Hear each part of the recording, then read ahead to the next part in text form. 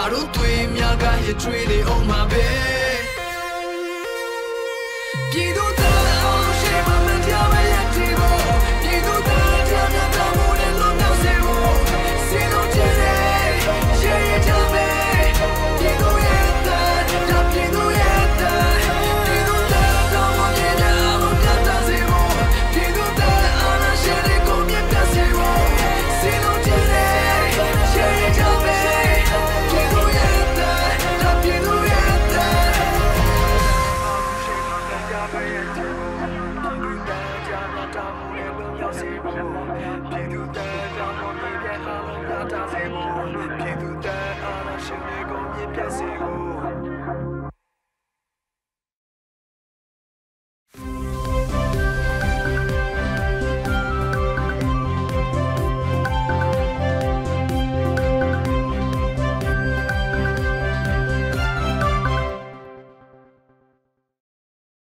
မြန်မာနိုင်ငံသူနိုင်ငံသားအပေါင်း BNN ရဲ့အသက်တွေကကင်းဝေးပြီးကိုယ်စိတ်နှစ်ပါးလုံးချုပ်အေးချမ်းကြပါစေလို့ PPTV အဖွဲ့သားတွေကဆုတောင်းမေတ္တာပို့သလိုက်ရပါတယ်။အခုချိန်ကစပြီး PPTV သတင်းတွေကိုတင်ဆက်ပြီးတော့မှာပါ။ကျွန်မထထအိန္ဒရာအောင်ပါ။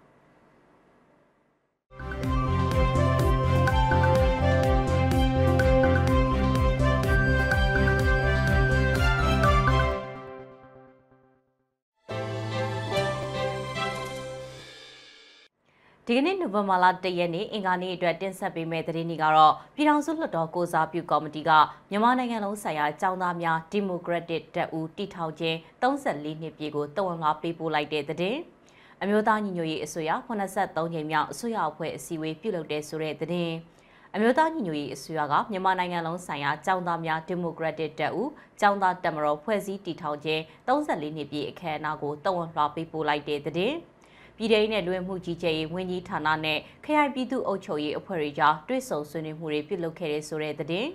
ဒေါနာစစ်ကြောင်းကိုထောက်ပံ့မှုအတွက်ပန်းတီရင်ဓာသွေးမဲ့အမိပေးထားတဲ့ရမငွေရှောက်ဖွေးလှုပ်ရှားမှုအစီအစဉ်ပြုလုပ်မယ်ဆိုတဲ့သတင်းနဲ့ဒီကနေ့အတွက်မြန်မာနိုင်ငံတဝန်းကလူမျိုးပေါင်းစုံဘာသာပေါင်းစုံပါဝင်တဲ့ဆီယနာရှင်တော်လှန်ရေးစံထားပြလူလူတပိတ်သတင်းတွေကိုတင်ဆက်ပေးသွားမှာပါ။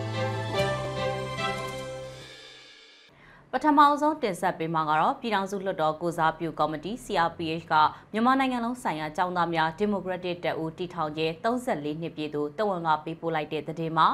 ပြည်ထောင်စုလွှတ်တော်ကိုစားပြုကော်မတီကနိုဝင်ဘာလ10ရက်ဒီကနေ့မှာကြာရောက်တဲ့မြန်မာနိုင်ငံလုံးဆိုင်ရာကျောင်းသားများဒီမိုကရက်တစ်တပ်ဦးတည်ထောင်ခြင်း34နှစ်ပြည့်ကိုတဝန်လာပေးပို့လိုက်တာပါ။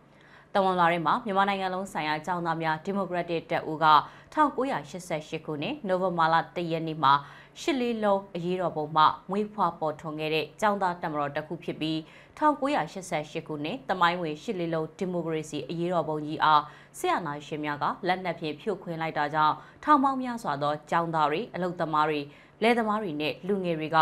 မြန်မာနိုင်ငံနေဆက်အသီးသီးကိုထွက်ခွာလာခဲ့ကြပြီးမြန်မာနိုင်ငံလုံးဆိုင်ရာចောင်းသားများဒီမိုကရက်တစ်တပ်ဦး ABSDF ကိုဖွဲ့စည်းတည်ထောင်ခဲ့တာက34နှစ်ပြည့်မြောက်ခဲ့ပြီဖြစ်တယ်လို့ဖော်ပြထားပါတယ်။ ပြည်ထောင်စုလွှတ်တော်ကိုစားပြုကော်မတီအနေနဲ့စစ်အာဏာရှင်တွေကိုအမြင့်ပြတ်တွန်းလှန်တိုက်ထုတ်က Federal Democracy နိုင်ငံတော်တည်တည်ဆောက်နိုင်ရေးတိုင်းရင်းသားတရလုံးကပါဝင်ဆင်နွှဲနေတဲ့ຫນွေဦးတော်လှန်ရေးအဆုံးသက်တိုက်ပွဲမှာမြန်မာနိုင်ငံလုံးဆိုင်ရာចောင်းသားများဒီမိုကရက်တစ်တပ်ဦးအပါအဝင်တော်လှန်ရေးအင်အားစုများအားလုံးနဲ့အတူတကွဆက်လက်ကြိုးပမ်းသွားမှာဖြစ်တယ်လို့တဝန်လာထဲမှာဖော်ပြထားပါတယ်။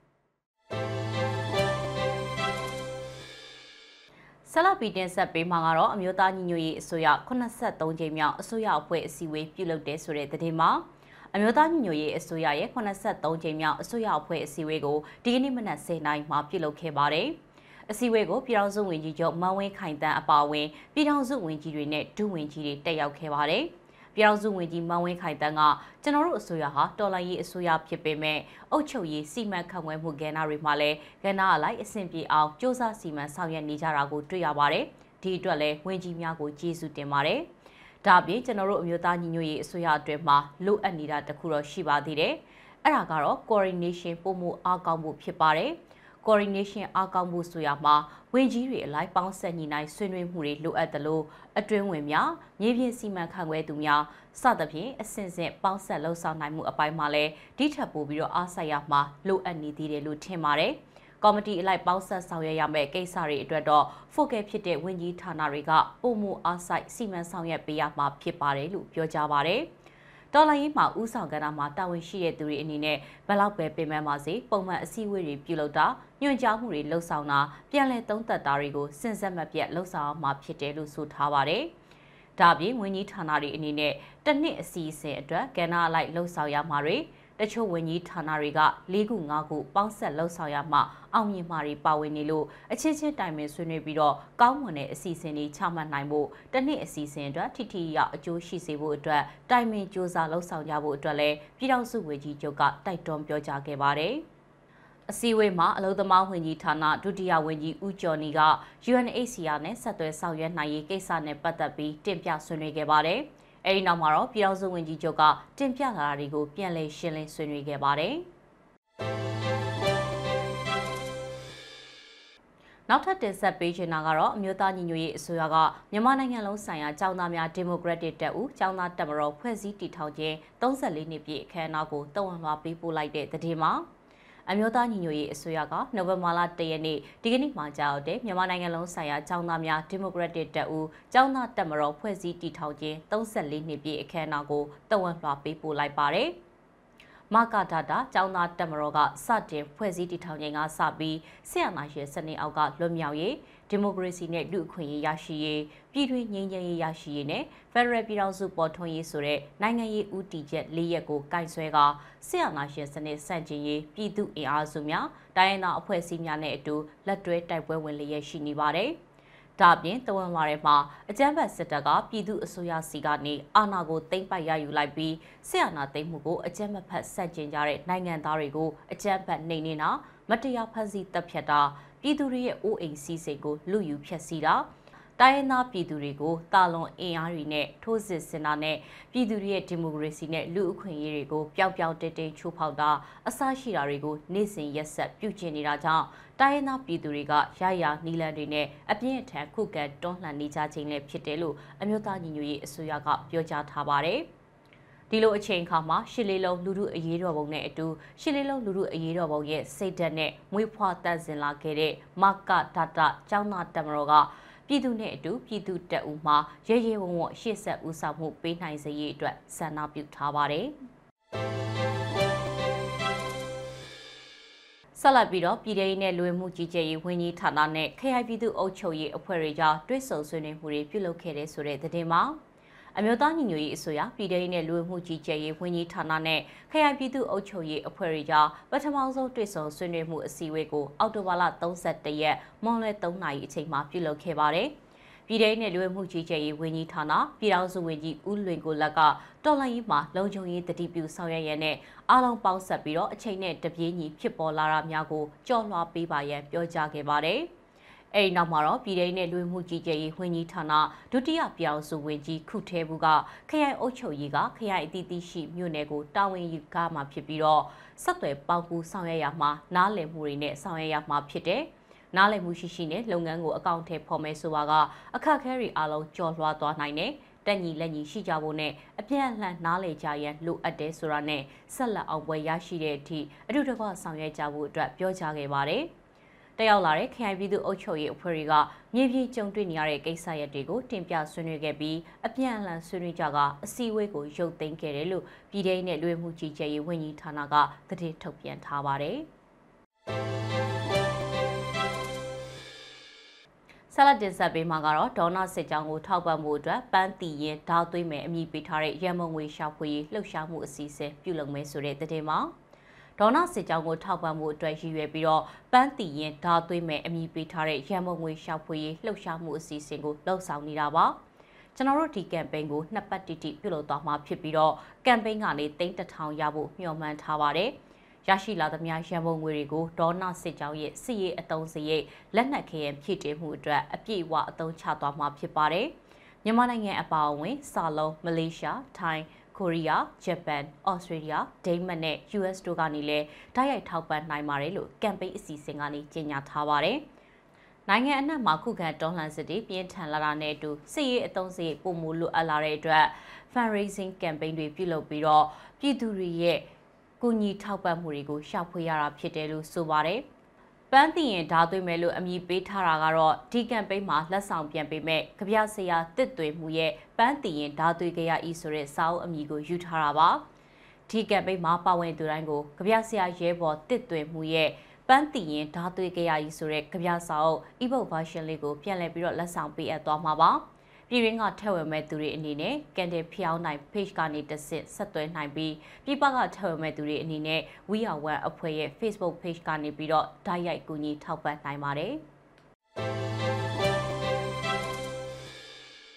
အခုနောက်ဆုံးအနေနဲ့မြန်မာနိုင်ငံတဝန်းကလူမျိုးပေါင်းစုံဘာသာပေါင်းစုံပါဝင်တဲ့ဆရာနာရှင်အမြင့်ပြည့်ချေမုံရေးလူထုဆန္ဒပြပွဲသတင်းတွေကိုစူးစီးတင်ဆက်ပေးတော့မှာပါ။ စကိုင်းတိုင်းကဏီမြို့နယ်တပိတ်စစ်ကြောင်းကအကြမ်းဖက်ဆရာနာရှင်တော်လှန်ရေးဒီကနေ့မှချီတက်ဆန္ဒပြခဲ့ပါတယ်။ဆန္ဒပြဒေါ်လာပြည်သူတွေကတော်လန်တစောင်းတိုင်းရောက်ပြီးပြည်သူမှန်တိုင်းမယိုင်စီနဲ့ကဏီမြို့နယ်တပိတ်စစ်ကြောင်းဆိုတဲ့စာတန်းတွေကိုကိုက်ဆွဲပြီးတော့ချီတက်ခဲ့တာပါ။မန္တလေးမြို့ရင်သိမ်းရဲကင်းတစ်ခုမှာတော်လှန်လူငယ်တွေကဆရာနာရှင်စန့်ကျင်စာတန်းချိတ်ဆွဲတဲ့လှုပ်ရှားမှုကိုဒီကနေ့မှပြုလုပ်ခဲ့ပါတယ်။ဆန္ဒပြတော်လှန်လူငယ်တွေကဖားကက်အနံပါအတွက်ဝမ်းနေမှုကိုတော်လှန်ရေးခွန်အားဖြင့်အရှိန်မြင့်ကြ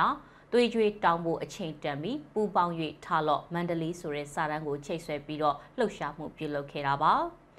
ရင်းမပင်အရှိချက်မှာတော်လန်ပြည်သူတွေရဲ့ကက်တင်ရှင်မရှာဒုချီရွာတပိတ်ကဖားကက်အနံပါဖြစ်စဉ်အတွက်ဝမ်းနည်းမှုကိုတော်လှန်ရေးခွန်အားဖြင့်အရှိန်မြင့်ဖို့တိုက်တွန်းတဲ့စာသားတွေကင်ဆွဲပြီးညနေစီစာတပိတ်ကိုပြုလုပ်ခဲ့ပါတယ်။ ဆန္ဒပြတော်လှန်ပြည်သူတွေကဖားကက်အနံပါအတွက်ဝန်နေမှုကိုတော်လှန်ရေးခွန်အားဖြင့်အရှိန်မြင့်ဆိုတဲ့စာတမ်းကိုကိုင်ဆွဲပြီးဆင်အနာရှင်ကြာရှုံးရေးဟစ်ကြွေးမှုတွေနဲ့ချီတက်ခဲ့တာပါရင်းမပင်ဇလင်ကြီးရွာပေါင်းစုံတပိတ်က960ရဲ့မြောက်အဖြစ်အကြမ်းဖက်စစ်တပ်ကြာရှုံးရေးဆန္ဒပြတပိတ်ကိုဒီကနေ့မှပြုလုပ်ခဲ့ပါတယ်ဆန္ဒပြတော်လှန်ပြည်သူတွေကဖားကက်အနံပါအတွက်ဝမ်းနေမှုကိုတော်လှန်ရေးခွန်အားဖြင့်အရှိန်မြင့်ကြဆိုတဲ့စာသားတွေကိုကိုင်ဆောင်ပြီးအကြမ်းဖက်ဆင်အာဏာရှင်အမြင့်ပြည့်ချေမှုရေးချီတက်ဆန္ဒပြခဲ့တာပါ။ ရင်းမပင်မြို့နယ်မြောက်ချမ်းဆီယနာရှင်စန့်ကျင်ရေးညနေတပိတ်အင်အားစုကဒီကနေ့မှာအကြမ်းဖက်စစ်တပ်ကြာရှုံးရေးအဖြစ်ဆန္ဒပြပွဲပြုလုပ်ခဲ့ပါတယ်။ဆန္ဒပြတော်လှန်ပြည်သူတွေကဓမ္မကိုပူဇော်အဓမ္မကိုလောက်ကျွမ်းကျေးလက်တပုံတပိတ်စစ်ကြောင်းဆိုတဲ့စာသားကိုကိုက်ဆွဲပြီးတော့လှည့်လည်ခဲ့တာပါ။စကိုင်းတိုင်းကလေးမျိုးပင်မတပိတ်အင်အားစုတွေကအကြမ်းဖက်ဆီယနာရှင်စက်ကြီး633ရက်မြောက်ဖြစ်ဒီကနေ့မှချီတက်ခဲ့ပါတယ်။ ဆန္ဒပြတော်လှန်ပြည်သူတွေကဖကက်အနံပါအတွက်ဝမ်းနေမှုကိုတော်လှန်ရေးခွန်အားဖြင့်အရှိန်မြင့်တင်ကြစာသားကိုကိုက်ဆွဲပြီးတော့ချီတက်ဆန္ဒပြခဲ့တာပါ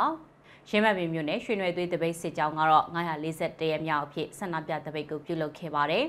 တော်လန်ပြည်သူတွေကသွေးမအေးတဲ့ရွှေနွယ်သွေးဆိုတဲ့စာတမ်းတွေကိုကိုက်ဆောင်ပြီးတော့ချီတက်ခဲ့တာပါဒေတာကန်တော်လှန်ပြည်သူတွေကနေမြေမငြိမ်သက်မှုတွေကြားရကနေပဲအကြမ်းဖက်စစ်တပ်ကြရှုံးရေးဆန္ဒပြတပိတ်ကိုနေ့စဉ်ပြုလုပ်နေကြပါတယ်။ ဒါကတော့နိုဝင်ဘာလ၁ရက်နေ့သတင်းတွေနဲ့လူလူဆန္ဒပြပွဲသတင်းတွေကိုစူးစီးတင်ဆက်ပေးခဲ့တာဖြစ်ပါတယ်။ကျေးဇူးတင်ပါတယ်ရှင်။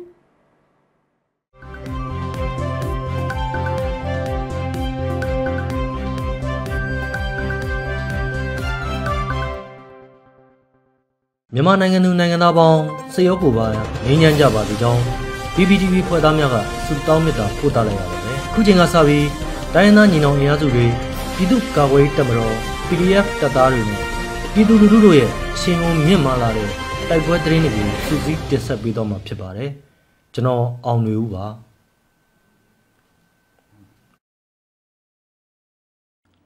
ပရမဦးစွာ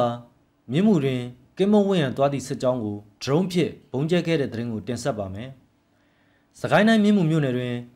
ကင်းမဝင်းရန်သွားသည့်အကြမ်းဖက်စစ်တပ်ရဲ့စစ်ကြောင်းကိုယနေ့ drone ဖြင့်ဘုံကျဲတက်ခတ်ခဲ့ရာ စစ်သား2ဦးတေဆုံးကြောင်းမင်းညံ0ပျောက်ကြားတပ်ဖွဲ့ကိုတက်ကြီးထံမှသိရပါတယ်ဖះနဲ့အဆောင်တန်းကြနိုဝင်ဘာ1ရက်နေ့နနက်10:30မိနစ်20အချိန်စကိုင်းတိုင်းမြင်းမှုမြို့နယ်ထီဆောင်ကျေးရွာမှအရှိမြောက်ဘက်သို့ကင်းမုံဝင်းရန်ထွက်ခွာလာသည့်စစ်ကောင်စီတပ်သား20ဝန်းကျင်ကို drone ဖြင့်ဘုံကျဲတိုက်ခိုက်ခဲ့ကြောင်းဘုံကျဲရာတွင်အုံပြသည့်ဘုံဒီမှာစကိုင်းခရိုင်ပကပကထုတ်လုပ်သည့်ဘုံဒီမိုင်းဖြစ်ကြောင်းဘုံကျဲတိုက်ခိုက်မှုကြောင့်စစ်သား2ဦးတေဆုံးပြီး 6ဦးဒဏ်ရာရရှိခဲ့တယ်လို့သိရပါတယ်။ကွက်တိဗျာဆက်လက်တင်ဆက်မှာကမန္တလေးတွင်ကင်းလက်နေသည့်စစ်ကားမိုင်းဖြစ်တိုက်ခိုက်ခံရတဲ့သတင်းဖြစ်ပါတယ်။မန္တလေးမြို့တွင်ယနေ့မိုင်းခွဲတိုက်ခိုက်မှုနှစ်ခုဖြစ်ပွားခဲ့ပြီးအမှတ်7ရဲစခန်းဤတွင်အချုပ်ကားလုံခြုံရေးစစ်ကောင်စီတပ်ဖွဲ့ဝင်များမိုင်းဆွဲခံရခြင်းနှင့်အောင်မြေတာဆန်တွင်ကင်းလက်နေသည့်စစ်ကား3စီးမိုင်းဆွဲခံရခြင်းတို့ဖြစ်ပါတယ်။နိုဝင်ဘာ1ရက်နေ့နနက်9:30မိနစ်30ဝန်းကျင်ချိန်တွင်88လမ်း 42လမ်းဒေါက်အမှတ်7ရဲစခန်းနီးအချုပ်ကားဘုံဒုခံရကြောင်းအချုပ်ကားမောင်းရဲနှုတ်နှင့်ရက်ဝေရဲချုပ်ထိခိုက်ဒဏ်ရာရကလူနာတင်ရင်ဖြင့်ခေါ်ဆော်သွားကြောင်းစစ်တပ်ကပိတ်ဆို့စစ်ဆေးနေကြောင်းမန္တလေးသတင်းရင်းမြစ် VO1 D1 ကဖော်ပြပါတယ်။ရန်ကုန်မန္တလေးအမြန်လမ်းပိုင်းတွင်စစ်ကားတစ်စီးမိုင်းဆွဲခံရတဲ့သတင်းကိုဆက်လက်တင်ဆက်ပါမယ်။ရန်ကုန်မန္တလေးအမြန်လမ်းပိုင်းတွင်စစ်ကားတစ်စီးမိုင်းဆွဲတိုက်ခိုက်ခံရပြီးဗိုလ်ကြီးတူပါဝင်နှစ်ဦးသေဆုံးခဲ့တယ်လို့ NVDF ထံမှသိရပါတယ်။အော်တိုဘာလ31ရက်နေ့နနက်9:00နာရီဝန်းကျင်ချိန်တွင်ရန်ကုန်မန္တလေးအမြန်လမ်းပိုင်း၌မန္တလေးမှရန်ကုန်ဘက်သို့မောင်းနှင်လာသည့်အင်အား40ခန့်မှစစ်ကားတစ်စီးကိုမန်နိုင်320ခန့်တွင်နထိုးကြီး Fever Defense Force အဖွဲ့မှမိုင်းဆွဲတိုက်ခိုက်ခဲ့တာဖြစ်ပါတယ်။နောက်ဆုံးအနေနဲ့တိုက်ပွဲတွေအတွင်းစစ်ကောင်စီ15ဦးသေဆုံးခဲ့တယ်လို့ဒဇယ် PDF ကထုတ်ပြန်ခဲ့တဲ့သတင်းကိုတင်ဆက်ပါမယ်။စကိုင်းတိုင်းဒဇယ်မြို့နယ်နှင့်ကမ်မလူမြို့နယ်တို့တွင် စစ်တပ်နှင့်ဒဇယ် PDF တို့နှစ်ရက်အတွင်းတိုက်ပွဲ၃ကြိမ်ထိတွေ့ဖြစ်ပွားခဲ့ပြီးစစ်ကောင်စီတပ်သား15ဦးထက်မနည်းတေဆုံးခဲ့ကဒဏ်ရာရသူများပြားခဲ့ကြောင်းဒဇယ် PDF ကထုတ်ပြန်ထားပါတယ်။ဒဇယ်မြို့နယ်မဟာမြိုင်တောဆက်ရှိဂရိတ်ရွာအနီးသို့အင်အားအလုံးအဖြစ်စစ်ကြောင်းထိုးလာသောစစ်ကောင်စီတပ်ကိုရွှေဘိုခရိုင်တပ်ဖွဲ့ဒဇယ် PDF ရွှေဘိုခရိုင်တရင်6ပူးပေါင်းဖွဲ့တို့ကတိုက်ခိုက်ခဲ့ရာထိတိတိုက်ပွဲနှစ်ကြိမ်ဖြစ်ပွားခဲ့ပြီးစစ်ကောင်စီတပ်သား15ဦးထက်မနည်း တေဆုံးခဲ့ကအများပြားဒဏ်ရာရရှိခဲ့တယ်လို့ဒဇယ် PDF ကထုတ်ပြန်ထားပါတယ်ခင်ဗျာ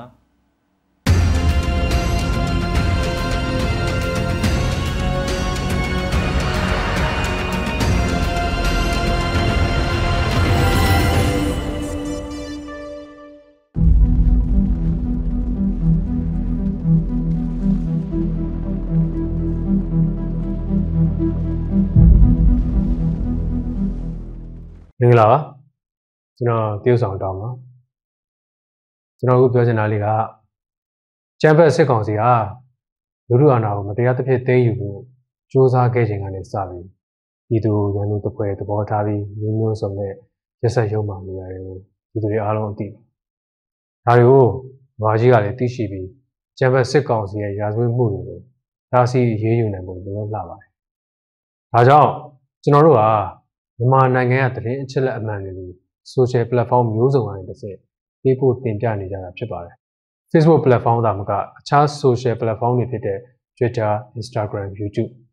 စတာတွေကိုပါတွင်တင်ကြကြအသုံးပြုပြီးသတင်းအချက်အလက်တွေမျှဝေနေကြတာကိုတွေ့ရပါတယ်။ social platform တွေကသတင်းစီးဆင်းမှုမြန်ဆန်တယ်လို့သတင်းမားတွေဝါဒဖြန့်အလိမ်ညာစကားတွေစတာတွေကိုလည်းဖြန့်ဝေနိုင်တဲ့နေရာတစ်ခုဖြစ်တာမို့ကျွန်တော်တို့အနေနဲ့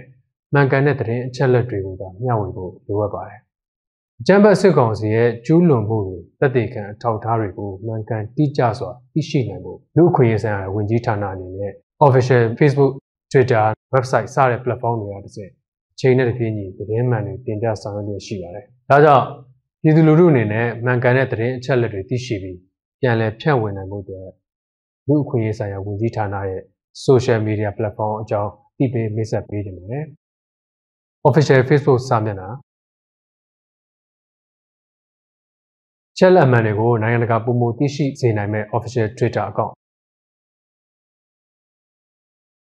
လူခွင့်ရေးဆိုင်ရာဆောင်ရွက်နေမှုတွေကိုအချိန်နဲ့တပြေးညီသိရှိနိုင်စေမဲ့ official website ဒီ social platform တွေကနေသတင်းအချက်လက်တွေအများဆုံးသိရှိနိုင်ဖို့နဲ့သတင်းအချက်လက်တွေကိုမျှဝေနိုင်ပါတယ် like and follow လေးတွေလှုပ်ဆောင်ထားဖို့လိုအပ်တဲ့အကြောင်းပြည်သူလူထုကိုသတင်းစကားပါးရစေခင်ဗျာ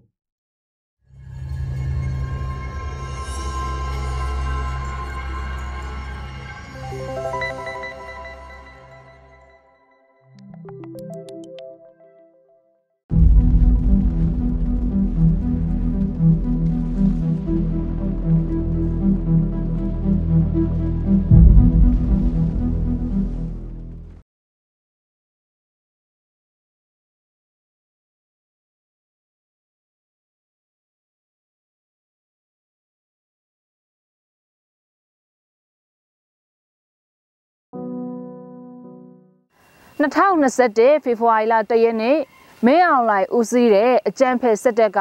နိုင်ငံတော်အာဏာကိုအတ္တမလူယူပြီးတဲ့နောက်မှာ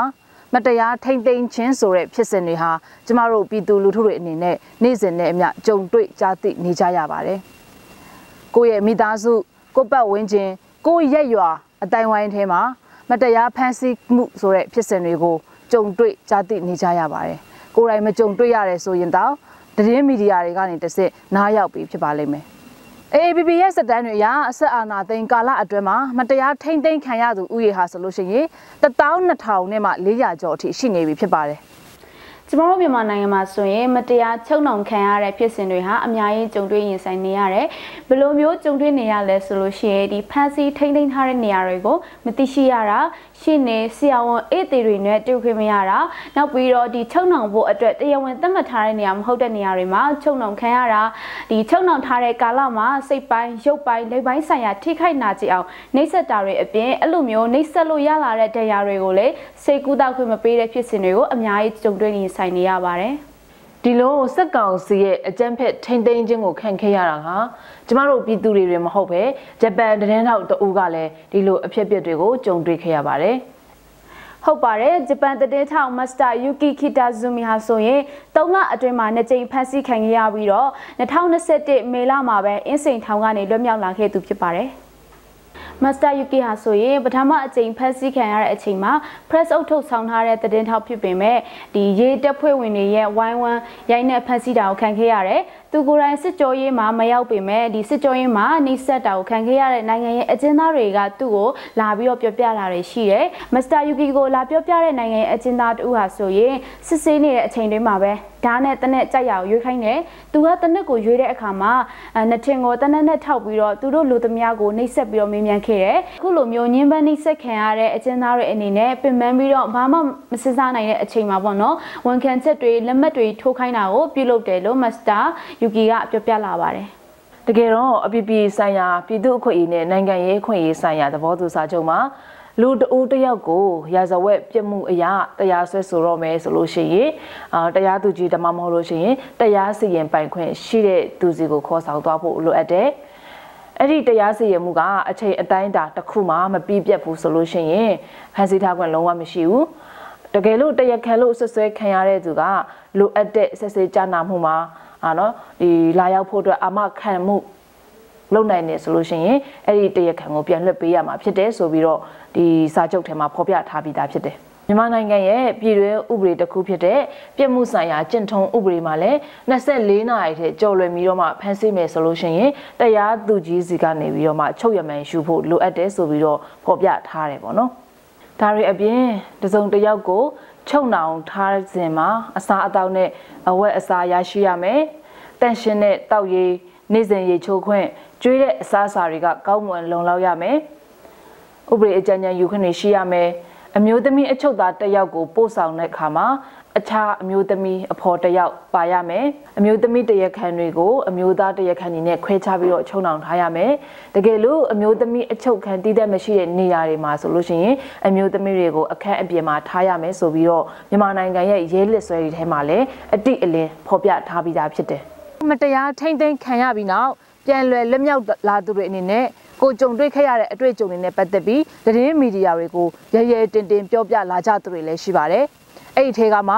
LGBT တဦးဖြစ်သူစာရေးဆရာမစောဟန်နွေဦးကတော့ BBC ကိုသူကြုံတွေ့နေရတဲ့အဖြစ်အပျက်တွေနဲ့ပတ်သက်ပြီးတော့မှအခုလိုတင်ပြထားပါတယ်အန်တီကတော့ဒါကတော့ညီမရဲ့ဒီဒီနိုင်ငံရေးပုံမှန်ပေါ့ငါငါကကြီးတစ်ခုတည်းနဲ့ပဲအဲအမှုကတရားရုံးမှာရင်ဆိုင်ရတယ်။အစဖန်ခံကညီမစက်တင်ဘာလ6ရက်နေ့မနေ့ဆက်ဟောပေါ့နေ့ က17နာရီခွဲမှာညီမဖမ်းခံရတယ်။အစဖမ်းခံရတဲ့စက်တင်ဘာ6ရက်နေ့ညမှာပဲညီမကိုဒီမမင်းစစ်ကြော်ရဲခေါ်သွားတဲ့အချိန်မှာညီမကိုဒီဟိုညနာကိုဟိုအဝိစာနဲ့ပိတ်ပိတ်ပြီးတော့မှအဲအဝိစာပေါ်မှာတိတ်တည်နေပတ်ပြီးတော့ညီမကိုဟိုသူတို့ဟိုဟာဒီဝါယာကျိုး3 5တင်လိန်ပြီးတော့ကျိုးနဲ့အဲကျိုးခောက်တင်နေညီမကိုရိုက်တာရှိတယ်နောက်ညီမခြေကုံကိုတနက်တင်နဲ့အဲထုပြီးရိုက်နှက်တာတွေရှိတယ်နောက်ညီမရဲ့လက်သေးရှည်တွေကိုမလာယာရီနဲ့ဆွဲလိမ်တာမျိုးတွေရှိတယ်နောက် ညီမ ရေစာတော့ ရေနွေးတောင်းတောက်တဲ့အချိန်မှာ ညီမကိုရေနွေးကောင်းကောင်းမပေးဘဲနဲ့ ညီမသူကောင်းကို ရေနွေးဘူးလောင်းချတာရှိတယ် နောက်ဒီအဲဒီဟိုပေါ့ရဲစခန်းမှာ ပြန်ခေါ်လာပြီး စစ်တော့လဲညီမကိုဒီဓာတ်နဲ့မောတာတွေရှိတယ် နောက် ညီမတို့ထန်းလက်တွေနဲ့ ရိုက်တာ နောက်ဒီ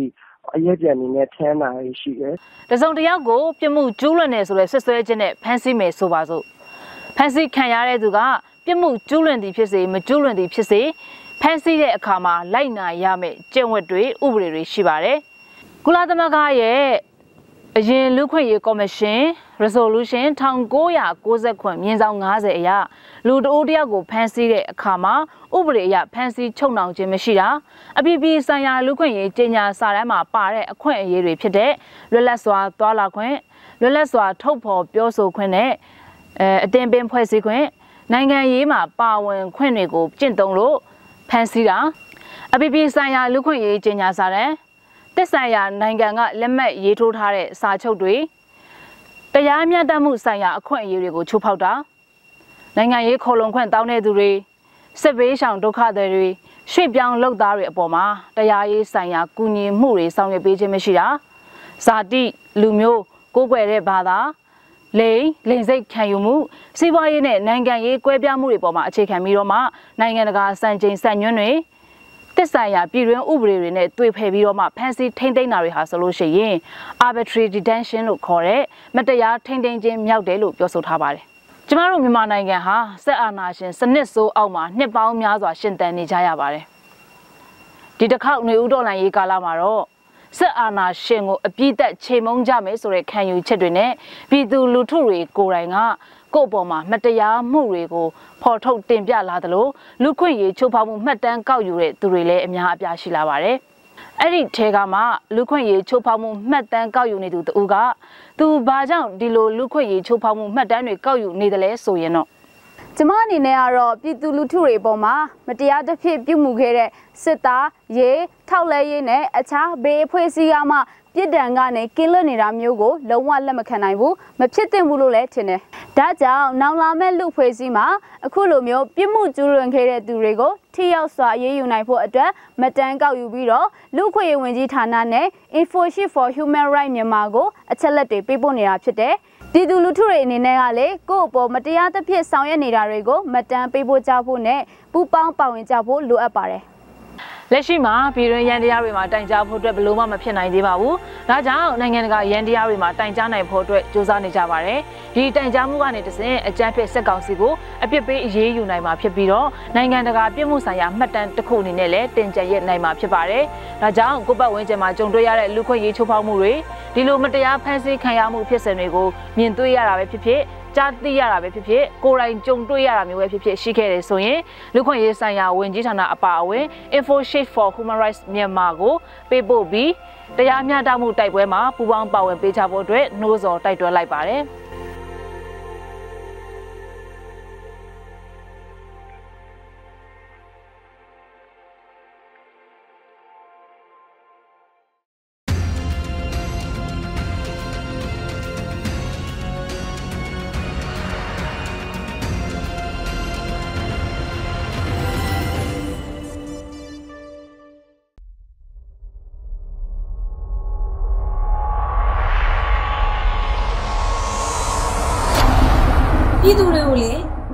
တပ်ကရရဆက်ဆက်ရိုက်နှက်ပြီးတော့ဖမ်းဆီးတာတွေပြစ်ခတ်တပ်ဖြတ်တာတွေတွေ့ခဲ့ရတယ်ကွာ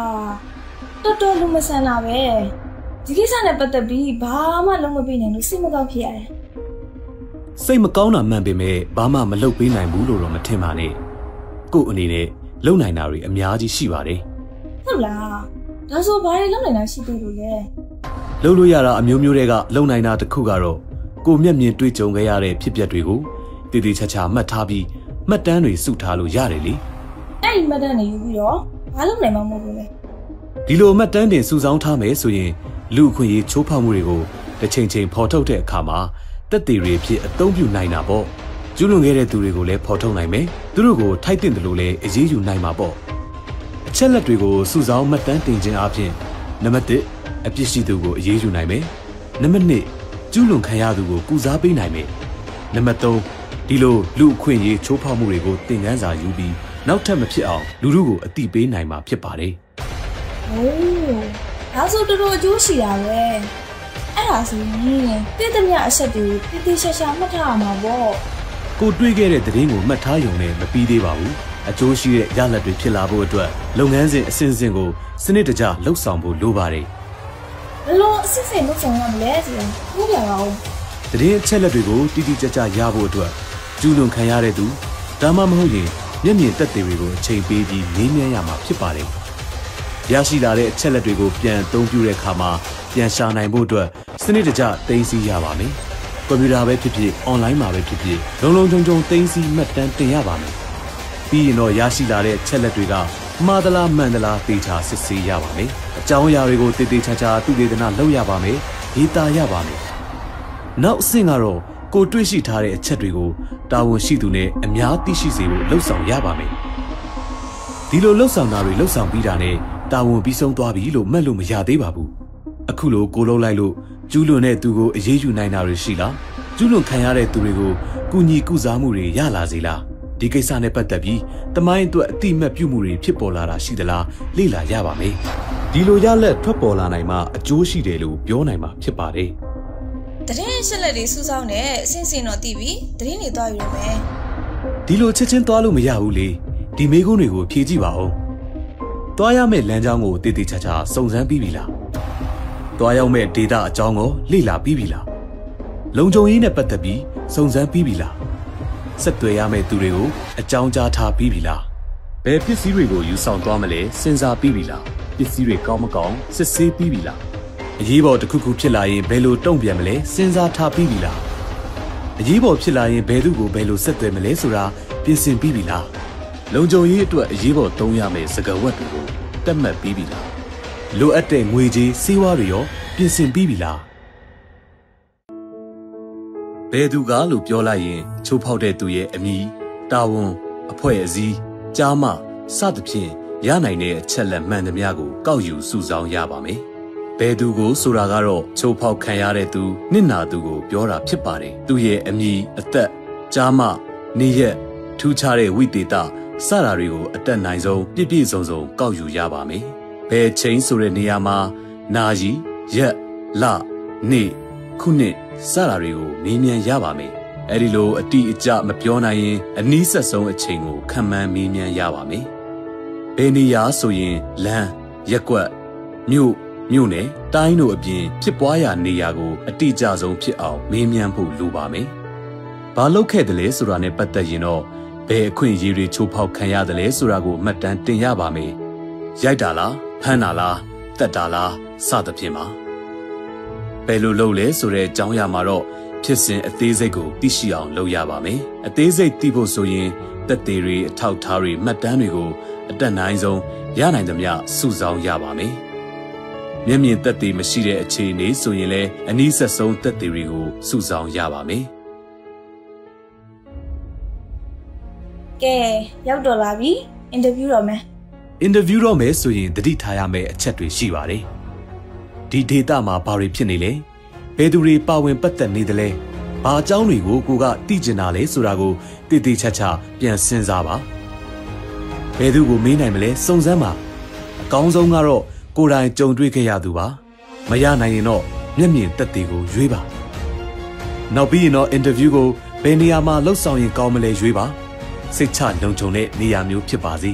။အင်တာဗျူးတော့မယ်ဆိုရင်အင်တာဗျူးအတွက်ကိုယ့်ရဲ့စိတ်ကိုစုစည်းပါ။ဖြေကြားမဲ့သူကိုတက်တောင့်တက်တာဖြစ်အောင်လုပ်ပါ။ရင်းရင်းနှီးနှီးဖော်ဖော်ရွရွဆက်ဆံပါ။ကိုယ့်ကိုယ်ကိုဘယ်သူဘယ်ဝါဖြစ်ကြောင်းမိတ်ဆက်ပါ ရှင်းပြပါ။ဘာအကြောင်းအရာကိုသိကျင်ကြောင်းရှင်းပြပါ။ မပြောလို့ရင်မပြောဘဲနေနိုင်ကြောင်းလဲကြိုတင်ပြောပါ။တရားခံစစ်တယ်လို့မစစ်ပါနဲ့။ဖြေကြားမဲ့သူအစဉ်ပြေပြီဆိုမှမိကုန်းတွေကိုစတင်ပါ။တကယ်လို့အတန်ဖမ်းမယ်တက်ပုံရိုက်မယ်ဆိုရင်ခွင့်ပြုမပြုတည်တည်ချာချာခွင့်တောင်းပါ။မိကုန်းတွေလွတ်လွတ်လပ်လပ်ဖြေနိုင်ဖို့အတွက်အဖွင့်မိကုန်းများကိုသုံးပါ။အသေးစိတ်မိကုန်းတွေကိုလိုအပ်မှထပ်မေးပါ။ဖြေကြားသူနားလည်နိုင်မဲ့စကားအသုံးအနှုန်းကိုရွေးချယ်သုံးပါ။ ဖြေကြားနေတဲ့သူရဲ့အခြေအနေကိုအမြဲလေ့လာပါ။သူ့ကိုလေးစားအာရုံစိုက်နေကြောင်းပေါ်လွင်ပါစေ။အထင်သေးတဲ့ပုံစံအပြစ်တင်ရှုတ်ချတဲ့စကားမျိုးကိုရှောင်ရှားပါလိုအပ်ရင်အနာပေးပါအချက်လက်တွေကိုတည်တည်ချာချာမှတ်သားပါအားလုံးပြီးဆုံးသွားရင်မိမိရေးသားထားတဲ့မတ်စုကိုအစအဆုံးပြန်ဖတ်ပါလိုအပ်ချက်များနဲ့မရှင်းတဲ့အချက်တွေကိုရှိရင်ပြန်မေးပါအားလုံးပြီးစီးသွားပြီဆိုရင်တော့ နောက်ထပ်ဆက်သွယ်နိုင်မဲ့အဆက်အသွယ်ကိုတောင်းခဲ့ပါလိုအပ်ရင်ဆက်သွယ်မဲ့အကြောင်းကိုပြောထားပါမထွက်ခွာခင်မှာတော့ကျေးဇူးတင်စကားကိုမဖြစ်မနေပြောပါလူခွင့်ရေးချိုးဖောက်မှုများကိုစနစ်တကျမှတ်တမ်းတင်ခြင်းဖြင့်တရားမျှတမှုကိုဖော်ဆောင်ကြပါစို့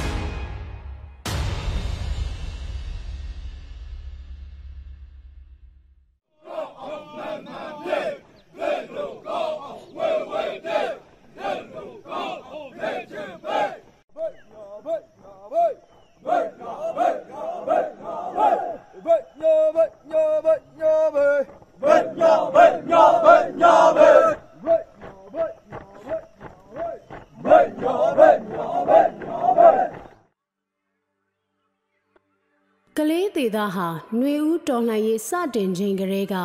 မြို့နယ်လူထုတရက်လုံးတပိတ်ဆက်ကြောင်းတွေအင်ပြည့်အားပြည့်နေ့စဉ်အရှိန်အဟုန်မပြတ်ချီတက်နိုင်ခဲ့တဲ့ဒေသဖြစ်ပါတယ်။ငြိမ်းချမ်းစွာဆန္ဒထုတ်ပေါ်တဲ့တပိတ်ဆက်ကြောင်းတွေကိုစစ်ကောင်စီကအကြမ်းဖက်ပြစ်ခတ်ဖြိုခွင်းမှုတွေလှုပ်လာတဲ့အတွက်အမဲလိုက်တူမီတနက်ခါချိုးတနက်နဲ့အခြားရရလက်နက်တွေကိုင်းဆောင်ပြီးစစ်ကောင်စီကိုပထမဦးဆုံး ပြန်လည်ခုခံတိုက်ခိုက်ခဲ့တဲ့ဒေသတစ်ခုအဖြစ်ဒီຫນွေဦးတော်လှန်ရေးမှာသမိုင်းမှတ်တမ်းဝင်ခဲ့ပြီဖြစ်ပါတယ် ဆောင်နေပြီ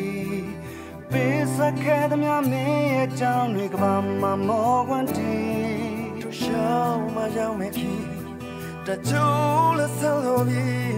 ညလင်းချက်ခုနဲ့ဝဲခဲ့တော့လေဆန်လာခဲ့ပြီ ။ຫນွေဦးတော်လှန်ရေးအတွင်းကလေးဒေသမှာဖြစ်တည်လာခဲ့တဲ့ အဓိကလက်နက်ကင်တော်လှန်ရေးအင်အားစုတွေစုစည်းညှိနှိုင်းပြီးတော့ People's Defense Force ကလေးကို2021ခုနှစ်မေလ24ရက်နေ့မှာစတင်ဖွဲ့စည်းထူထောင်ခဲ့ပြီးအခုချိန်မှာဆိုရင်လက်နက်ကင်တော်လှန်ရေးတပ်တန်းတစ်နှစ်ပြည့်မြောက်ခဲ့ပြီးဖြစ်ပါတယ်။ရေတန်ချိုးသေးအိမ်ပြောင်းလာများတိုင်းလာပါကြလေ ဒီကဆိုးကြီးဝေးပါစေတာယာစေတန်ငါတို့မိမြေတနစ်တာဂါလအတွင်းမှာဒေသခံပြည်သူတွေရဲ့ဝန်းရံပံ့ပိုးမှုနဲ့တရင်ကိုရင်အထိဖွဲ့စည်းတည်ဆောက်နိုင်ခဲ့ပြီး PDF ကလေးရဲ့တရင်တွေအားလုံးဟာအမျိုးသားညွေရေးအစိုးရပြည်သူ့ကာကွယ်ရေးတပ်မတော်ရဲ့ကွက်ကဲမှုစနစ်အောက်မှာ ကလေးခရိုင်တရင်တွေအဖြစ်တာဝန်ထမ်းဆောင်လျက်ရှိပါတယ်မင်းကြောင့်ပြောနေပြီအမှန်တရားနဲ့တမိုင်းကိုချီမင်းရှောက်ခဲ့တဲ့လမ်းကသာပြီးကျူရောက်နာခဲ့စီလက်ရှိအချိန်မှာဆိုရင်ကလေးဒေသအတွင်းမှာ PTF ကလေးဟာစုဖွဲ့မှုအင်အားအကောင်းဆုံးနဲ့တိုက်ပွဲဖော်ဆောင်မှုအများဆုံးဖြစ်ပြီး ကလေးဒေသလက်နက်ကင်တော်လှန်ရေးရဲ့ဗဟိုဦးဆောင်မှုနေရာမှာရှိနေတဲ့တပ်ဖွဲ့ကြီးတစ်ခုပဲဖြစ်ပါတယ်။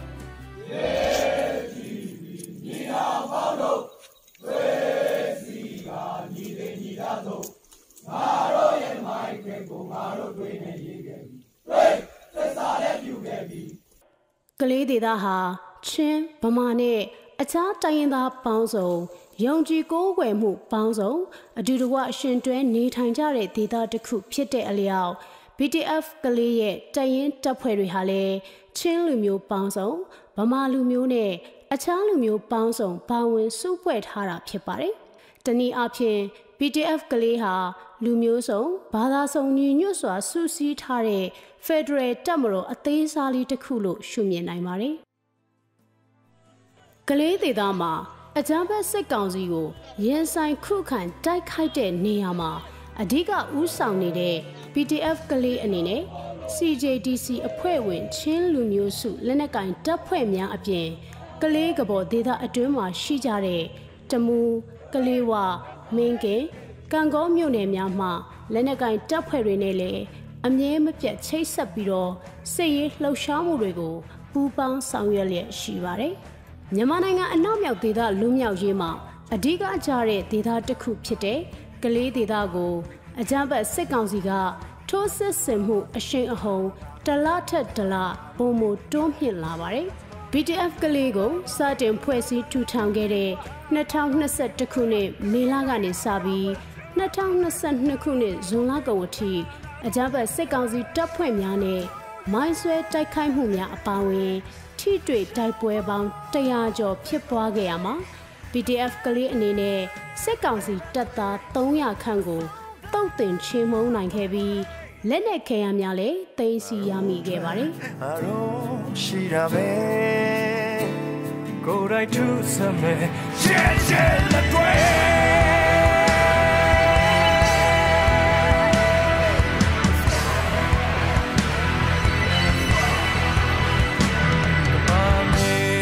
တနစ်တာကာလအတွင်းအကြမ်းဖက်စစ်ကောင်စီကို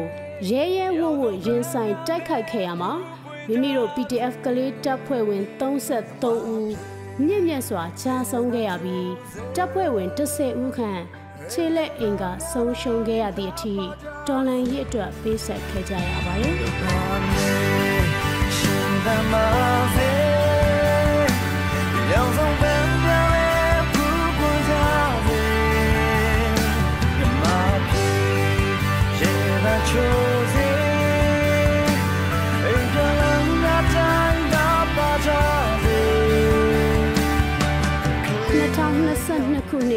နှစ်နှစ်စမ်းပိုင်းကနေစတင်ပြီးအကြမ်းဖက်စစ်ကောင်စီဟာတိုက်ခိုက်ရေးရဟတ်ရင်နဲ့စက်တိုက်လေရင်တွေကိုပါအသုံးပြုပြီးကလေးဒေသတောင်ပိုင်းကို အပြင်းအထန်ဘုံကျဲတိုက်ခိုက်ထိုးစစ်ဆင်လာခဲ့ပါတယ်။စစ်ကောင်စီရဲ့အင်အားသုံးထိုးစစ်ဆင်မှုကြောင့်2022ခုနှစ်အတွင်း BTF ကလေးတပ်ရင်တပ်ဖွဲ့များရဲ့အခြေစိုက်စခန်း၃ခုကိုဆွန့်လွတ်ခဲ့ရပါတယ်။အကြမ်းဖက်စစ်ကောင်စီတပ်ဖွဲ့တွေဟာ ထိုးစစ်ဆင်ရာလမ်းကြောင်းတစ်လျှောက်မှာရှိတဲ့ကျေးရွာများကိုလူရဲမိရှုဖျက်ဆီးခဲ့ပြီးအပြစ်မဲ့ပြည်သူများစွာကိုလည်းဖမ်းဆီးတပ်ဖြတ်ခဲ့ပါတယ်။ပြည်သူကိုအစဉ်အမြဲဥထိပ်ပန်းဆင်ဖို့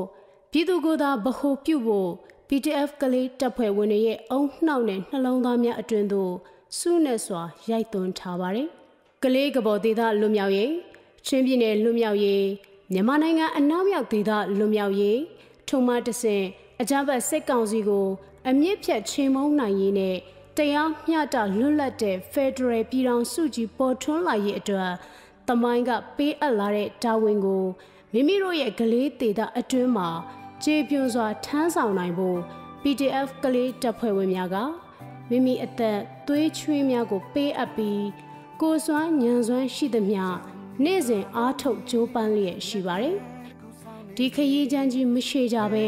တူတောင်းနိုင်ဖို့ဒီမုံတိုင်းနဲ့ဒီအမှောင်မိုက်ဆုံအချိန်တွေကိုအမြန်ဆုံးဖြတ်တန်းပြီးအလင်းရောင်နေ့သစ်ကိုစီးကြိုနိုင်ဖို့အားလုံးအားလုံးကမိမိရောက်ရှိနေတဲ့နေရာကနေမိမိတက်နိုင်သောအရာနဲ့ဒေါ်လာရေးအတွက်ခွန်အားဖြည့်ဆက်လက်ပါဝင်ပံ့ပိုးဝန်းရံပေးကြဖို့ PTF ကလေးတပ်ဖွဲ့ဝင်များကမြစ်တာရက်ခံတိုက်တွန်းလိုက်ပါတယ်ကဘာမေရှင်သမားစီရောင်စုံပန်းညာလေးဖူးပန်းကြစေမြမပြေရေတန်ချိုး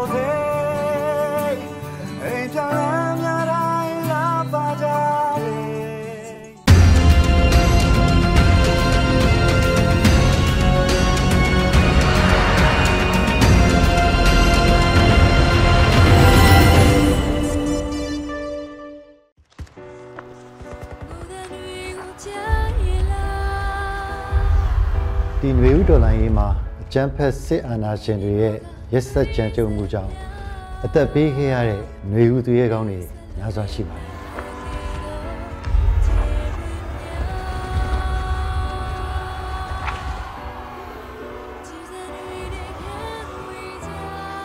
နွေဦးတော်လိုင်းရေးမှာကိုယ့်ရဲ့ရှင်သွေးတူဦးဒါမှမဟုတ်မိဘတူဦးဒါမှမဟုတ်ကိုယ့်ရဲ့အိမ်တော်ဘက်တူဦး ဒါမှမဟုတ်လဲဆွေမျိုးသားချင်းအစရှိသဖြင့်ဆုံးရှုံးလိုက်ရတဲ့ဒီမိသားစုတွေရဲ့ဆုံးရှုံးမှုဟာဘာနဲ့မှအစားထိုးလို့မရတဲ့ဖြည့်သိမ့်လို့မရတဲ့ဆုံးရှုံးမှုတစ်ခုပါထရီဆာတို့အားလုံးကလည်းဒီဆုံးရှုံးမှုတွေအတွက်စိတ်ထိခိုက်နာခြင်းခံစားကြရတယ်နာကျင်ခံစားနေလို့မပြီးပဲအသက်ပေးခဲ့ကြတဲ့မျိုးဦးသူရဲကောင်းတွေရဲ့မိသားစုတွေအတွက် ဘဝနောင်ရည်အဆင်ပြေဖို့စောင့်ရှောက်မှုတွေတစုံတရာလိုအပ်ပါတယ်။အဲဒီအတွက်ရင်းနှီးပေးဆက်ခဲ့ကြတဲ့သူရဲကောင်းတွေရဲ့ကိုစားအသက်ရှင်ကြံ့ရခဲ့တဲ့ကျွန်တော်တို့တွေကတာဝန်ကိုယ်စီရှိပါတယ်။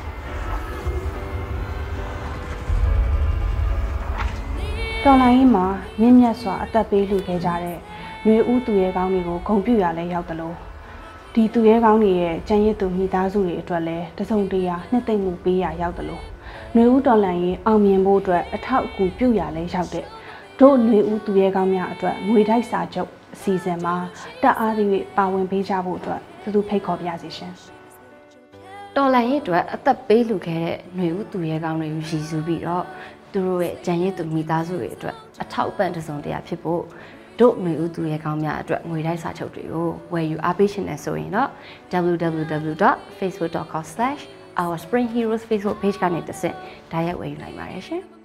မြေဥတော်လိုင်းရေးမှာမြင့်မြတ်စွာအသက်ပေးခဲ့ကြရတဲ့သူရဲကောင်းတွေရဲ့အမိပါတဲ့ဘွန်စာချုပ်တွေကိုအလူရှင်တွေရဲ့လက်ထဲကိုပေးပို့သွားမှာဖြစ်ပြီးတော့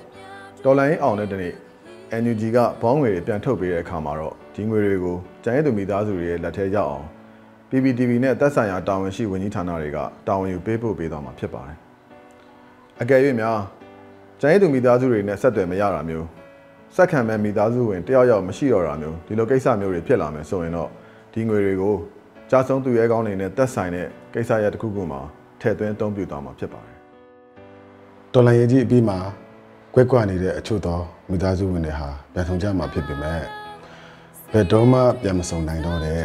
မိသားစုဝင်တွေလည်းရှိနေမှာအသေးကြပါပဲတော်လန်ရေးအတွက်မြင့်မြတ်စွာအသက်ပေးခဲ့ကြတဲ့နေဦးသူရဲကောင်းတွေရဲ့ ကြံရစ်မိသားစုဝင်များကို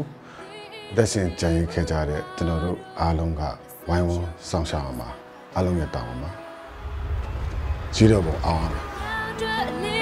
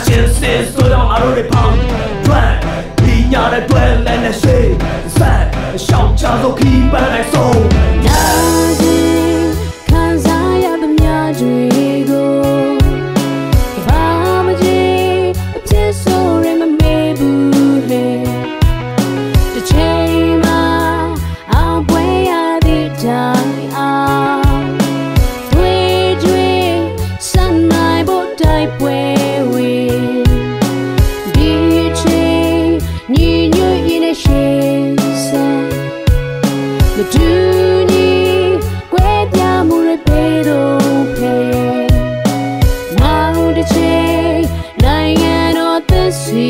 ကိုတို့တွေအအဖြစ်ဖို့အကျေးစေ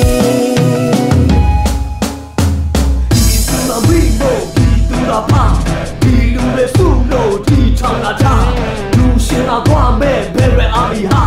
တို့တွေဆောင်ချင်းကပေးမှာကစစ်မှန်တဲ့ဒီမိုကရေစီတွင်ပြေဟာငြိမ်းချမ်းရေးတုံးငန်းတဲ့သူဝဲ ခါလေထားပြီးပေါ်ဆောင်မှာပဲ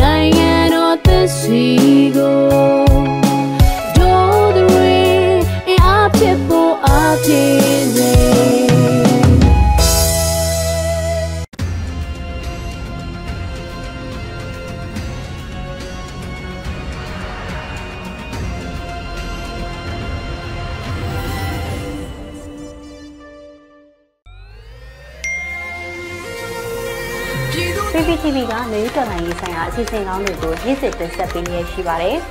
PPTV ကထုတ်လွှင့်တင်ဆက်ပေးနေတဲ့အစီအစဉ်တွေကို PPTV ရဲ့တရားဝင် YouTube Channel ဖြစ်တဲ့ youtube.com/c/pptv မြန်မာကို Subscribe လုပ်ကြည့်ရှုပေးကြရဖြင့်တော်လိုင်းကိုတစ်သက်တအားဖတ်မှုပြည့်ပေးနိုင်ပြီဖြစ်ကြောင်းသတင်းအောင်ပါလိုက်ပါရရှင်။စိတ်ရက်ကလစ်တွေနဲ့တော်လိုင်းရေးကိုနိုင်တဲ့ဘက်ကထိတ်ဆက်အားဖြစ်လိုက်ကြအောင်ပါ။အရေးတော်ပုံအောင်ရမည်။